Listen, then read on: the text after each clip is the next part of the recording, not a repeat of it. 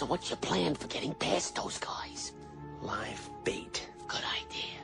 Hey, Come on, Timon. You guys have to create a diversion. what do you want me to do? Dress and drag and do the hula? Wow! If you're hungry for a hunk of fat and juicy meat, eat my buddy Pumba here because the end is free. Coming down and dining on a Stacy Swine, all you have to do is get in line. Ah, you aching Yup, yup, yup. for some bacon? Yup, yup, yup.